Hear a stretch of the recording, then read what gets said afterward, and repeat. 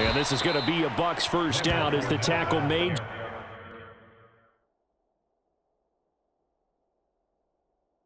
Just shy of the 30. Second and one.